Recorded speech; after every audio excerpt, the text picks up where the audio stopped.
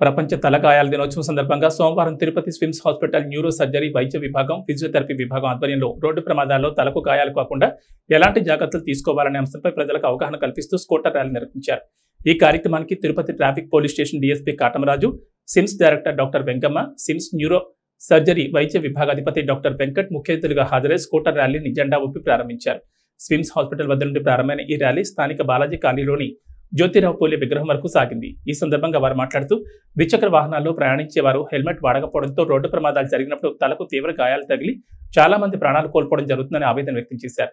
ద్విచక్ర వాహనదారులు ప్రతి ఒక్కరూ తప్పనిసరిగా హెల్మెట్ ధరించాలని అదేవిధంగా కారులో ప్రయాణించే వారు సీట్ బెల్ట్ తప్పనిసరిగా ధరించి ప్రమాదాల్లో ప్రాణాలు పోగొట్టుకోకుండా ఉండాలని సూచించారు.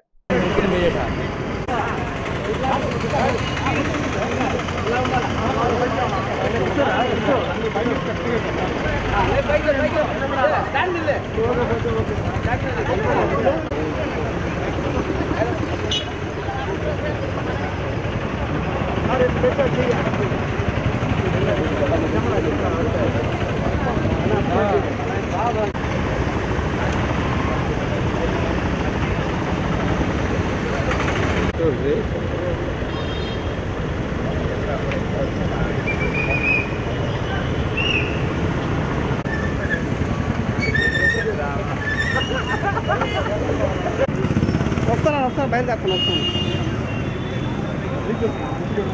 SIMS SIMS SIMS.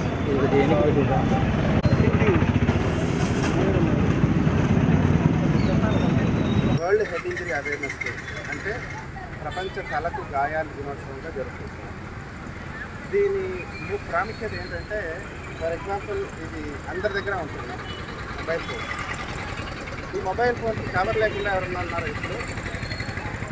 కింద ఫోటో తీసుకున్న వాళ్ళు అందరూ మొబైల్ వేసుకున్నారు కవర్. ఎందుకు? కింద పట్టు పైకి కాబట్టి మొబైల్ జాగ్రత్త పెట్టుకోవాలి. మళ్ళీ పదివేల రూపాయలు ఖర్చు దీని మీద పదివేలకే మనం కవర్ వేస్తే మన తల విలువ ఎంత?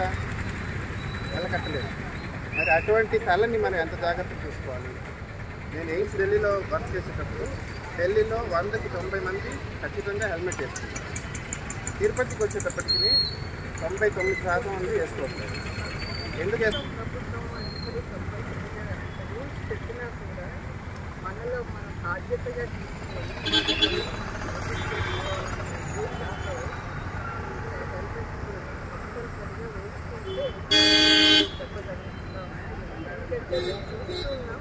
చాలా మంది యాక్సిడెంట్ జరిగినప్పుడు హెల్మెట్ వేసుకున్న వాళ్ళలో చాలా మంది